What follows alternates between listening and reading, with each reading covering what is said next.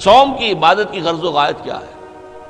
याजीन आमन कोतबा अलैकुम कमा कोतबा तत्तकून। ए ईमान वालो, तुम पर भी रोज़ा फ़र्ज़ किया गया है, जैसे कि तुमसे पहले लोगों पर किया गया था, ताकि तुम्हारे अंदर तकवा पैदा हो जाए। तकवा किसे कहते हैं? लफ्जी मानिए है बचना, गुनाह से बचना, हराम काम से बचना, हराम चीज़ खाने से बचना, हराम खोरी से बचना हराम कारी से बचना, ये बचना। वक़ा यकी के मानी है बचाना, वक़ना अजाब नार हम दुआ मांगते हैं अल्लाह हमें आपके अजाब से बचा ले। तो वक़ा यकी बचाना इतका यकी बचना, खुद बचना। ताकि तुम बच सको, तुम्हारे अंदर तकवा पैदा हो जाए, तुम अल्लाह की नाफरमानी से बचो, गुनाहों के इरतकब से बचो हराम खोरी से बचो, इसलिए तुम्हारे ऊपर रोज़ा फ़र्ज़ किया गया। अब इसकी हमत को समझिए। देखिए, एक है हमारी खुदी। हमारी अना। जब मैं कहता हूँ मैं तो मैं से मुराद क्या है? ये हाथ मेरा है, ये पाँव मेरे हैं, ये आँखें मेरी हैं, ये सर मेरा है, ये जिसम मैं कौन हूँ? मैं की हकीकत ज़रा मुख्तलिफ़ है। आना खुदी सेल्फ। एक है हमारा हैवानी वजूद। इस हैवानी वजूद में वही सारे तकाजे मौजूद हैं जो हैवानात के अंदर है। हर हैवान खाना जो है उसे चाहिए इंसान को भी चाहिए। हर हैवान में नस्ल कशी के लिए शहवत का मादा है, हमारे अंदर भी है। हर हैवान को कोई ना कोई कोई घोंसला हो, कोई भट्ट हो, कोई जगह चाहिए रहने के लिए, आराम करने के लिए, हमें भी चाहिए। तो हैवानी तकाजे हमारे, जो हमारे वजूद के अंदर मौजूद हैं, इनके लिए कहा है, फ्राइड ने लफ्ज इस्तेमाल किया एडिया लिबिडो। ये इंडिया लिबिडो बहुत मुंहजोर है।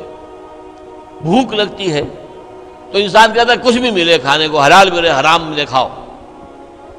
शहवत का जज्बा जब जाग उठता है बरंगेख्ता हो जाता है तो फिर वो तो चाहता है तस्कीन होनी चाहिए, मेरी शहवत की, जायज़, नाजायज़, हलाल, हराम, सही, गलत, सब छोड़ो इसको। इसके लिए कंट्रोल पैदा करना, जब्त नफ्स, कि आप अपने नफ्स पर कंट्रोल कर सकें। नफ्स आप पर हावी ना हो जाए तो जो उसका हुक्म दे, जो भी वो हुक्म दे, आप उसकी पैरवी करें।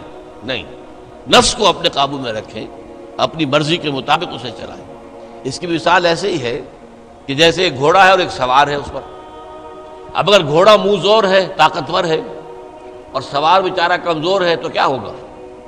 घोड़ा कहीं पटक देगा उसको, कहीं किसी खाई में फेंकेगा या कुछ और करेगा।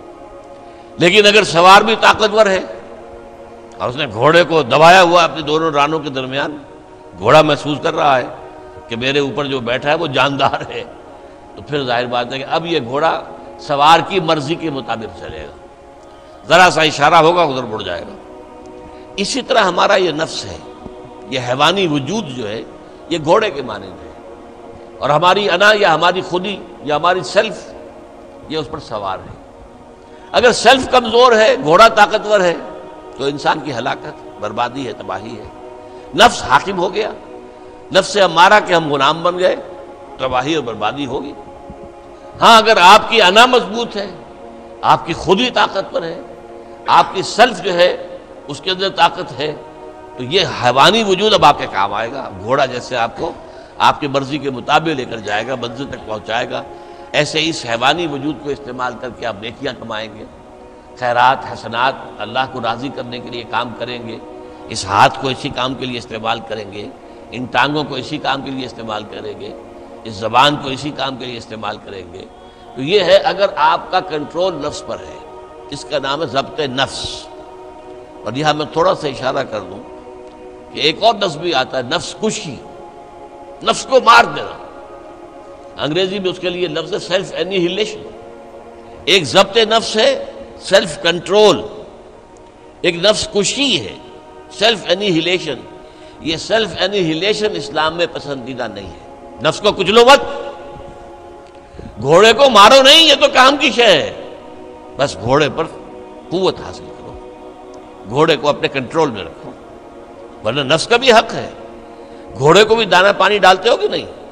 तुम्हारे नफ्स का भी हक है। वही नफ्स का ले का हकन वही जौजे का ले का हकन वही जौर का ले का हकन तुम पर तुम्हारे अपने नफ्स का भी हक है। तुम पर तुम्हारी बीवी का भी हक है।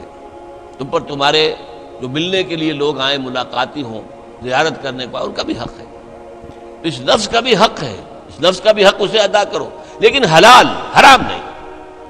ये हराम और हलाल के फ़र्क के लिए जब्त की ज़रूरत है कंट्रोल कर सकते इस कंट्रोल के लिए रोज़े की एक मुशक्क़त कह लें या मश्क कह लें। ये मश्क है कि आपने साल में ये तीस दिन या उनतीस दिन दिन में शरीर भूख के बावजूद हलाल चीज़ भी नहीं खाई। खाना मौजूद है। शरीर प्यास है।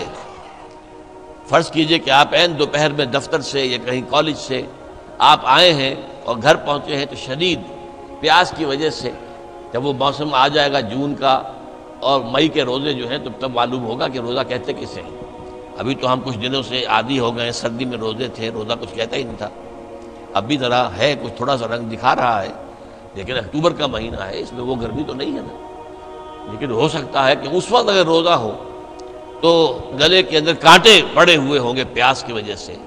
और घर में पहुँचे तो मालूम है, पानी मौजूद है, फ्रिज मौजूद है, ठंडा पानी मौजूद है, बर्फाब, और भी ड्रिंक्स मौजूद है। रूह अफ्जा की बोतल रखी हुई है, नहीं पीनी क्यों? अल्लाह की इजाज़त नहीं ये मश्क आप तीस दिन करेंगे तो इससे तो है कि आपके अंदर यह सलाहियत पैदा हो जाए कि बकिया ग्यारह महीने हराम तो ना खाएँ। एक महीने हलाल भी नहीं खाया। अल्लाह के हुक्म की वजह से। तो हराम अल्लाह ने किया है ना, अल्लाह का हुक्म है। ग्यारह महीने ये तकवा पैदा हो जाना चाहिए, ये ताकत तुम्हारे अंदर पैदा होनी चाहिए, ये सलाहियत पैदा होनी चाहिए कि हराम में मुँह मत मारो, हराम से इज्तनाब करो। यही वजह देखिए ज़रा कड़वी बात आपको सुना रहा हूँ।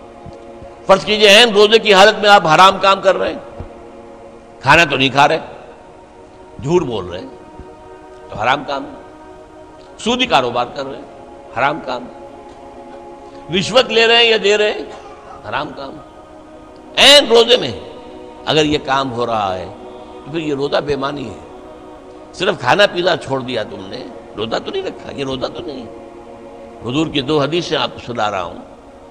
मल्लम यदा कौल जूर वल अमल अबही।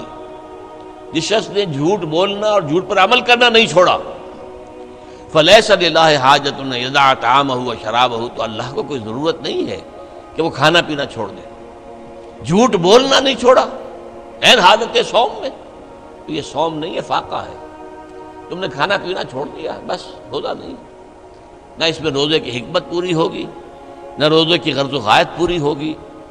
न रोज़े की बरक़ात, रोज़े के अनवार इससे पैदा होंगे, बल्कि बस ये है कि आपने दिन भर में फाका रखा है, अल्लाह खैर सल्ला इस तरह एक और हदीस में आता है कम मिन साइमिन लहसा मिन सयाम ही ललजू कितने ही रोजा रखने वाले ऐसे हैं जिन्हें अपने रोज़े से सिवाय भूख के और कुछ हासिल नहीं। भूखा रहा बस। मुँह बंद किए रखा। बाकी रोजा नहीं था वो। जब एन रोज़े की हालत में झूठ बोल रहा है, या झूठे अमल के ऊपर झूठे कारोबार पर अमल कर रहा है। तो ये रोजा नहीं है। तो रोज़े में खाना और पीना सिर्फ़ ये तर्क करना नहीं है, बल्कि यहाँ तक भी आया है कि फ़र्ज़ कीजिए कि कोई शख्स आपसे झगड़ रहा है गालब को रोज पे उतर आया है। तुम ये कहो कि भाई, मैं इस वक्त कुछ नहीं कह सकता, मैं रोज़े से हूँ। मैं इस वक्त तुम्हारी बात का जवाब नहीं दे सकता। मैं रोज़े से हूँ। ये भी गोया कि रोज़े के तकाजों में से है। झगड़ा ना किया जाए, फसाद ना किया जाए, लोगों से लड़ा ना जाए। गालम गलोच ना की जाए। ये भी रोज़े के तकाजों में से। तो रोज़ा रखा जाए पूरे आदाब के साथ तो उससे तकवा पैदा होता है, इसमें कोई शक नहीं। तो ये है गोया कि अवलीन सतह पर रोज़े की हमत याजीन आमन कतब आलकुम कमा कतब आलजीन कबलकुम लाकुम तत्तकून। अब आइए अगली मंजिल। कुछ अरसे के बाद फिर रमज़ान के रोज़े फ़र्ज़ कर दिए गए। शहर रमदान कुरान हदलन्ना से वबैनात मिनलहुदा वलफ़ुरक़ान फ़मन शहद अमिन कुम शहर फल रमज़ान का मुबारक महीना वो है जिसमें कुरान नाजिल हुआ। और कुरान क्या है? लोगों के लिए हिदायत। और हिदायत और हक व बातिल में इम्तियाज़ की बैनात रोशन चीज़ें वाज चीज़ें, खुली चीज़ें बैन चीज़ें।